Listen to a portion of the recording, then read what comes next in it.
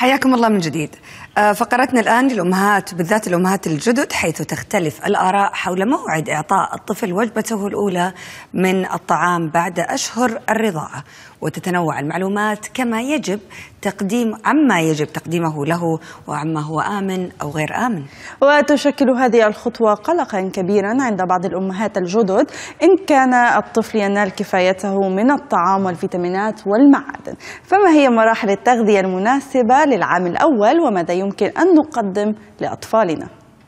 للمزيد تنضم لنا في الاستوديو ريهام شمس الدين اختصاصية التغذية صباح الخير يا ريهام صباحك يعني الأم بالذات إذا كانت طفلها الأول بتسمع تنبؤات صح. وآراء من أي أحد العيلة يجي ومن الأصحاب. في كل زيارة لازم أحد يعطيها معلومة مزبوط. فتوصل لمرحلة ما تعرف المعلومة الأكيدة الموثوقة مثلا آه، وقت آه، الطفل متى يبدأ المفروض ياكل صح. في خلال آه، سنته الأولى متى يكون الطفل جاهز هلأ ليكي في بروتوكول يعني منظمة الصحة العالمية بتقلنا إنه لازم الأم ترضع الطفل لمدة ست أشهر من دون إطع- اطعامه أي شيء آخر. بينما الأكاديمية طب الأطفال الأمريكية بتقول فينا نبلش على الاربع أشهر. فهو حسب جهوزية الطفل لأنه في أطفال ما بتكون بتقعد بعدها جالسه ما في يقعد كثير جالس ما بنقدر كثير نطعميه على الاربع أشهر. آه واتضح كمان إنه كل الدراسات عم تض- تتضح كمان أكثر وأكثر إنه كل ما بلشنا إطعام الطفل على عمر أصغر كل ما صارت حساسية الطعام عنده أقل. بقى أنا برأيي أربع أشهر كثير منيح حسب إذا الطفل جاهز يعني إذا جاهز من أي ناحية إنه هو يعني يكون بيقعد جالس آه بنحس نحن إذا عم يطلع نحن عم ناكل هو عم يطلع فينا عم يعمل حركات الانتباه. بتمه. إيه آه بيطلع فينا بعيوننا إنه هو بده ياكل بيعمل حركات بتمه بيدفش لسانه. فبنبلش نجرب. okay بنجرب أكيد بنبلش أول شيء فواكه أو خضرة مثل ما بدنا. أمرار من زمان كانوا يعطوا الاطفال وبعد فيها هلأ يعني آه أطباء وأمهات بعدهم بتعطي ال cereal يلي مدعم أو الحبوب المدعمه يلي فيها بس كثير بتحتوي على كمية عالية من السكر. أنا ضدها وكمان ما بحب كمان حتى السكر البودرة ال- sorry ال- الرز البودرة يلي بيجي للأطفال لأنه الجسم بعده جهاز الهضمي للطفل تحت عمر السنة خاصة من أربع أشهر ست أشهر بعده منه جاهز إنه يهضم هيدا هيدي الأطعمة بقى بنبلش بفواكه أو خضرة مثل ما بدنا كيف كيف تعملها الأم الفواكه أو الخضرة يعني okay. مرات آه، زي مثلا الفراولة فيها شوية بذور صح. أو فيها إيه. كيف تكون مطمنة الأم؟ okay هلأ على الأربع أو ست أشهر بس بدنا نفوت الأكل آه لازم أكيد الأكل يكون ال- الخضرة والفواكه تكون كثير مغسلة منيح ونقدر نطبخها يا نسلقها يا نطبخها على البخار أكيد نطبخها على البخار أفضل بكثير لأنه بتحافظ آه، على كمية المعادن والفيتامينات وعلى قيمتها الغذائية. بينما اذا بدنا نسلقها بمي على مدة طويلة ممكن تفقد كل هيدي المعادن. هلأ نحن هيدي الوصفة هلأ رح نفرجيها هيدي لعمر تقريبا العشرة أشهر. لما يكونوا أصغر من هيك كله مسلوق أو آه أو آه آه مطبوخ على البخار. ريهام إذا- أنت قلتي ممكن نبدأ خضار أو فاكهة. إيه. هل يستحسن نحن نبدأ مع الخضار عشان ما يحبوش الطعم الحلو فيرفضوا الخضار؟ لا. لأنه دايما بينصحونا إيه بهيك. هيدي لا فكرة غلط عنا إياها لأنه حليب الأم هو كتير حلو. طعمته كتير حلوة. فالولد already بيعرف طعمة السكر وطعمة الحلو بقى. بالعكس بنفوتهم بس أكيد لازم ندخلهم آه ثلاث أيام كل آه، نوع طعام بدنا نفوته ثلاث أيام متتاليين. كرمال نتاكد إنه هذا الطفل. ما عنده حساسية. خاصة إذا في عنا history أو في عنا تاريخ حساسية بالعائلة.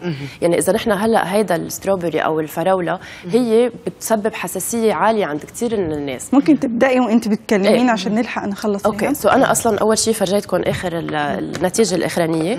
فهو هيدا porridge أو آه، عصيدة الفواكه مع الكينوا مع حليب جوز الهند وبذور الشيا.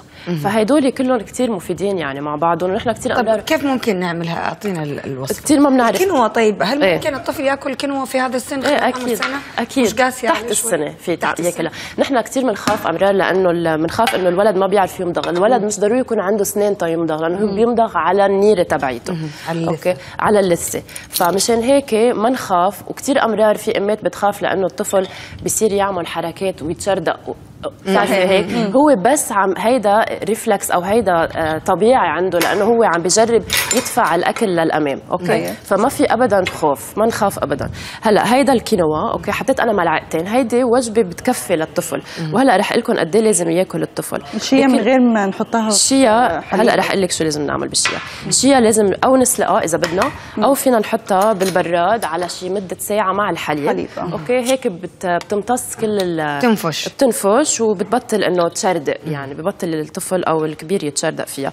أنا حطيت ملعقتين كبار آه، كينوا already ما سلق سلقناها وحطيت ملعقة كبيرة بذور الشيا. هي كثير غنية بالاوميجا جميل. okay كثير كثير صحية وفي بقلبها ألياف بس ما بنكتر لأنه الألياف لهذا العمر منه كثير آه، أساسي بكمية عالية. okay؟ أنت حطيتي زود زيت أو حليب عفوا حليب جوز الهند. حليب, حليب جوز. الهند. ليه ما حطيتي حليب عادي؟ فينا نحط حليب عادي إذا بدنا. بس نحن وحليب جوز الهند أكيد يكون من نوعية جيدة ما يكون في بقلبه سكر زيادة لأنه أمرار بنقرا نحن من ورا مكتوب عليه سكر أو إضافات ما أيوه. بدنا نحن يكون في إضافات بدنا يكون طبيعي.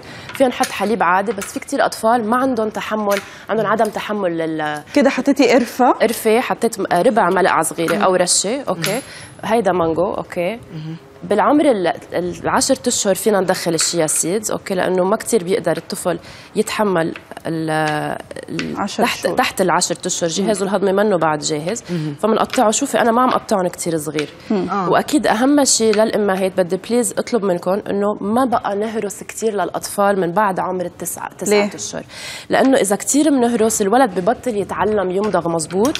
وإذا إذا صار عنده صعوبة بالمضغ يعني ببطل يقدر يأكل. بعدين في عنا أطفال بضلهم حتى عمر ثلاث سنين عم ياكلوا بيوريه أو مهروس okay نحن بنبلش إذا بدنا نبلش على أش- آه، ست أشهر فينا حتى نقفي كل مرحلة الهرس. فينا نعطي للطفل آه، أكل finger food بنسميه بيمسكهم بإيده وبياكلهم بإيده. بعد بعد ست شهور. بعد الس- بعد الست اشهر طيب بس المفروض انه كم وجبة في اليوم آه الأم تقدر تأكل ولدها؟ يعني طول اليوم مثلا حليب ومرة أو مره كم ليك مره على عمر؟ الت... مثلا عمر التسعة أشهر في يشرب بس مرتين أو ثلاث مرات حليب إذا عم يشرب فورمولا إذا عم يرضع على on demand قد ما بده لازم يرضع لأنه الام اللي بترضع. ما فيها تعرف إذا الطفل شبع أو لا.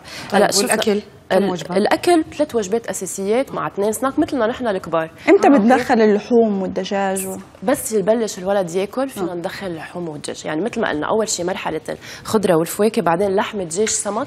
حتى السمك من زمان كانوا يقولوا إنه بس من عمر السنة وطلوع هلأ لا اتضح إنه بدنا نحط السمك والسالمون والأسماك اللي فيها كتير دهون جيدة على عمر صغير. كرمال الولد ما يصير عنده حساسيات وكرمال يقبلها على عمر أكبر. لأنه نحن بنعرف كل ما كبر الطفل كل ما صار بنق شوي وفي أشياء ببطل يقبلها. أكيد كل شيء بدنا نعطيه للطفل ما بده يكون مدور تما يشردقه سو بدنا نقصه بطريقة تكون صغيرة بس مش مش مدورة في لأنه أشخاص أو أطفال آه، بيكون في العمر السنة ممكن يكون عندهم حساسية من الفراولة من إيه. بعض الفواكه. إيه. إزاي أقدر أعرف يعني هل أمنعها تماما لغاية ما يكمل السنة ولا هيك. أجرب؟ آه إذا حساسية اللي, أول ما جربنا كانت حساسية بس طفح جلد خفيف أو شيء طبيعي ممكن نرجع نجرب لأنه كل ما ينضج الجهاز الهضمي عند الطفل كل ما بيقدر يرجع يتقبل مأكولات أكثر بقى مشان هيك فينا نرجع نجرب بس إذا حساسية كثير قاسية والطفل اختنق بدنا نرجع نستشير الطبيب لأنه في هيدي ممكن تشكل خطر على حياته فمشان هيك بدنا ننتبه هلأ أنا حطيت بلو بيري وحطيت آه، فراولة ومانجو ورح أحط كمان بقلبها موز okay. okay طيب يعني يصير إحنا عشان أربع شهور آه، فواكه وخضار مع خضرة. آه، ست شهور ممكن ندخل اللحوم. كينوا أو أو رز صح. تسعة شهور لحوم أو دجاج ولا لا قبل؟ اللحمة والدجاج فيك تبلشي أول ما أول شهور. ما بياكل وحتى كل شيء يعني حتى ال- من أربع شهور؟ أربعة أشهر ببلش ياكل فواكه وخضرة. بعد ما ندخل كل الفواكه والخضرة يعني على يعني تقريبا شهور. على مرحلة أسبوعين أو ثلاثة. خمسة أشهر فينا ندخل لحمة. أكيد بتكون ال- اللحمة حتى فينا نفوت لحمة غنم فينا نفوت لحمة بقر فينا نحط لحم ماعز يلي بدنا إياه okay؟ so نحن هلأ حطينا كل الفواكه. هي اللي بنحطها بالبراد. مش ضروري overnight يعني مش ضروري كل الليل. بنحطها لمدة ساعة بس حتى ينفش ال- كم ال- ال chia seed. ال chia seeds يلي عنا اياهم ويصير قابل للأكل. وهيدي هي شوفوا بس نفش ليكي كيف صار. آه. وصارت كثير هينة للأكل. طب أنا عادي ممكن أفطر هذا على فكرة أكيد، يعني هو ما عندي أي مشكلة. حلو جدا. بمناسبة إننا ما فطرنا اليوم لسه. هيك أهم شيء إنه نحن نعمل وجبات تكون بتناسب كل العائلة لأنه مش معقول نطبخ شيء للأطفال وشيء للكبار. وأهم شيء يكون الأكل طيب لأنه الطفل ما بيحب الأشياء يلي ما فيها طعمة.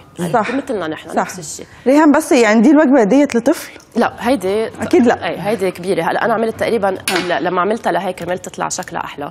آه حطيت ال portion double بس نحن وجبة الطفل هي هالقد. okay كل شهر فينا أول ما نبلش نطعميه بنطعميه ملعقة أيوه.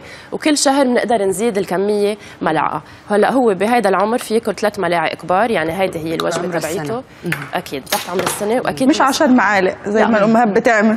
يعبوا الصحن تخلص شيء- الصحن واللي يجري إيه، وراكي. ومن طعميه أكيد ولا على التي في ولا بتعرفي نحن وصغار كانوا معودين حركات وأصوات إيه، إيه، للاكل إيه. للولد ياكل الولد بياكل. وخاصة إذا بنعطيه بإيده يجرب حتى هاي الملعقه بنقدر نعطيه إياها. بيقدر يحطها بتمه وهو يطعمي حاله. طيب سؤال بس أخير الملح والبهارات في أكل الطفل هل يجب ان الأم مثلا؟ فينا نحط قد ما بدنا بهارات من عمر الست أشهر سبعة أشهر فينا ندخل بهارات فينا نحط زنجبيل فينا نحط كركم هول كثير مضادات أسود، كمون. للتأكسد فلفل اسود بس ملح أكيد ممنوع ابدا وممنوع كمان سكر ابدا تحت عمر السنة. جميل. شكرا ريهام. شكرا ريهام. شمس الدين اختصاصية التغذية كانت معنا حول آه، طريقة الأكلات للطفل في العام الأول. شكرا جزيلا لك. شكرا. شكرا.